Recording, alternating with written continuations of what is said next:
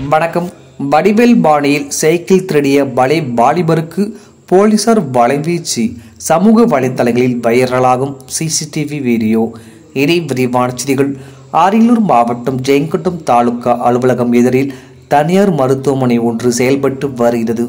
இந்நிலையில் தனியார் மருத்துவமனையின் முன்பு ரூபாய் ஆறாயிரம் மதிப்புள்ள மாட்டன் சைக்கிள் நிறுத்திவிட்டு மருத்துவமனைக்கு உள்ளே சென்று சிறிது நேரத்தில் வெளியில் வந்து பார்த்தபோது நிறுத்தி இருந்த சைக்கிளை காணாதது கண்டு அதிர்ச்சியடைந்தார் இது குறித்து ஜெயங்கொண்டம் காவல் நிலையத்தில் கொடுத்த புகாரின் பெயரில் போலீசார் மருத்துவமனைக்கு வெளியில் இருந்த சிசிடிவி கேமரா பதிவை ஆய்வு செய்தனர்.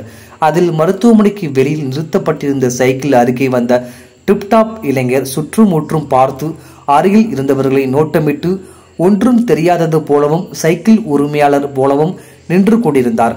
பின்னர் வடிவேல் பாணியில் மீண்டும் சுற்றுப்புண் சுற்றுமுற்றும் நோட்டமிட்டவர் தன்னை யாரும் கவனிக்கவில்லை என தெரிந்து கொண்டு கண்ணிமைக்கும் நேரத்தில் சைக்கிளை திருடிக்கொண்டு சாலையில் ஓட்டியபடியே சிட்டாக பறந்து சென்ற காட்சிகள் சிசிடிவி கேமராவில் பதிவாகியுள்ளது.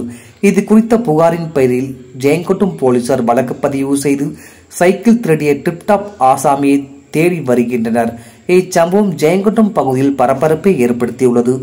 டிஎன் செய்திகளுக்காக அரியலூர் மாவட்ட செய்தியில் எஸ்பி ரவிச்சந்திரன்.